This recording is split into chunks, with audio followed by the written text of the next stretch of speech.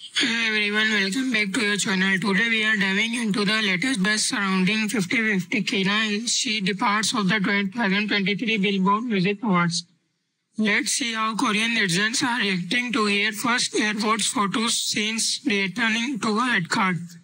Given that is a Keena first appearance since he had returned to card, netizens were naturally curious and eagerly appreciate the first glimpses of the idol this is setting. As Keena made her way inside their home, she graciously fulfilled photographers' request to pose for the cameras.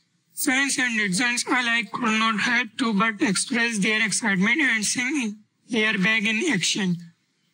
Keena's return to the spotlight is definitely a moment to celebrate, and fans are thrilled, thrilled to witness her journey to Billboard Music Awards.